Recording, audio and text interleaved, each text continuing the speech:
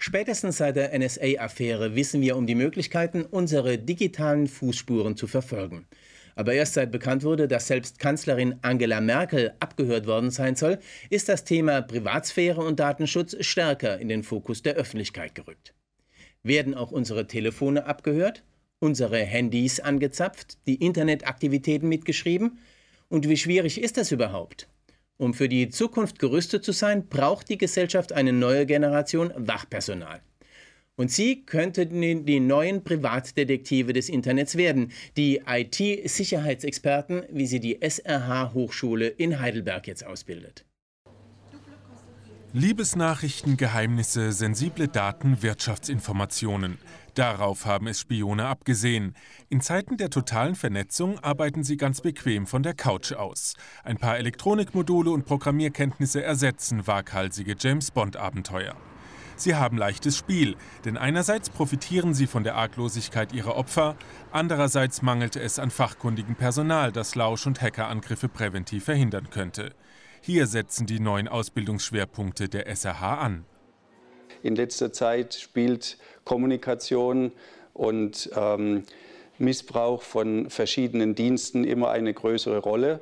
Und deshalb haben wir reagiert und jetzt auch IT-Sicherheit in unsere Studiengänge in der Elektrotechnik und Informationstechnik mit aufgenommen. Als Katalysator für ein wachsendes Bewusstsein von IT-Sicherheit in Deutschland dient die NSA-Affäre.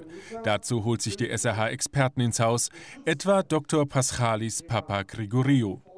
Er entwickelte bereits 2009 ein Smartphone, das die Daten der Bundeskanzlerin durch Verschlüsselung schützte, das sogenannte Merkel-Phone.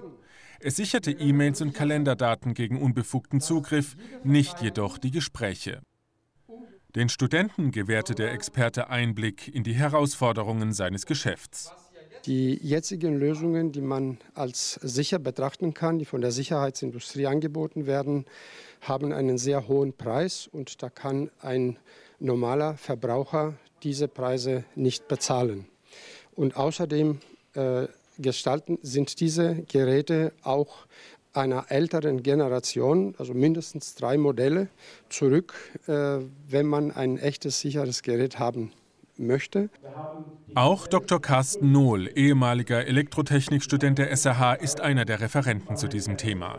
In diesem eindrucksvollen Versuch zeigt er, wie leicht schon ein Nachbar oder Bürokollege Handykommunikation anzapfen kann, indem er die Daten eines Handymastes abgreift.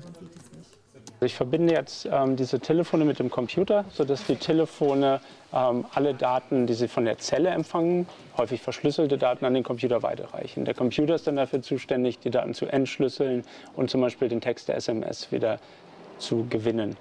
Und jedes Mal, wenn wir zum Beispiel eine SMS ausgetauscht wird, sehe ich das hier am Bildschirm. Jetzt zum Beispiel die roten Zeilen hier. Zack. Ähm, eine SMS gesendet an diese Nummer 0179 und so weiter mit dem Text, hey, wollte dir ein Geheimnis erzählen, erzähle es dir dann aber lieber persönlich. Gute Entscheidung, man sollte keine Geheimnisse über SMS austauschen. Ich bin froh, dass die NSA-Affäre endlich das Abhören von wichtigen Informationen wieder in, in eine öffentliche Diskussion bringt. Aber die NSA ist natürlich nicht der Hauptgrund, sich zu sorgen.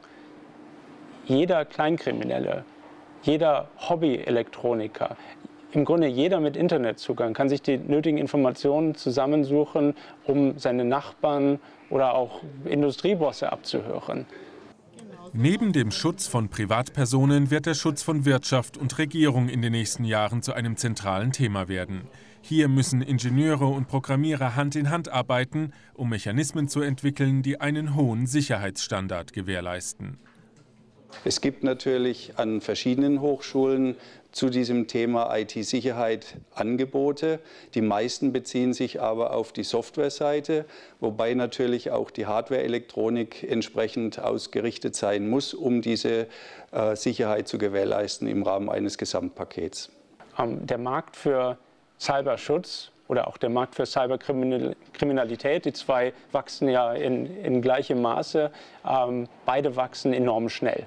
Die Kriminalität ist uns derzeit ein Stück weit voraus, einfach weil schneller organisiert und, und weil dynamischer am Markt. Ähm, aber der Bedarf nach Fachpersonal ähm, ist unbedingt da.